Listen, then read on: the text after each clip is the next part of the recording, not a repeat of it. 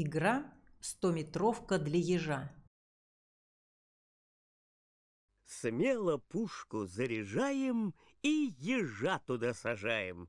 Ну-ка, ежик, вылетай, расстояние измеряй. Нажимай на пробел и стреляй ежиком как можно дальше, складывай полученные результаты, чтобы пройти всю стометровку. Вот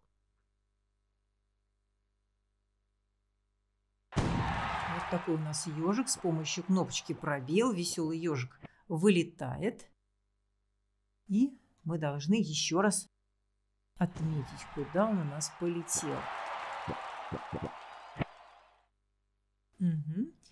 4 плюс 10. Ребенок на клавиатуре решает эту задачку и пишет число. Нажимает на кнопочку «Готово». То есть игра на решение простого примера на сложение. Поэтому предлагаем уже детям в первом и во втором классе. Правильно. Стреляем снова. Опять летит наш ежик. Если мы нажимаем, нажимаем пробелом или курсором. Первый раз он улетел на одно расстояние и затем на другое расстояние. Получилось у нас два числа. Недолет. Еще разок. Недолет. Еще раз нажимаем на нашего ежика, чтобы он перелетел Недолет. в нужное место, а он все никак не долетает.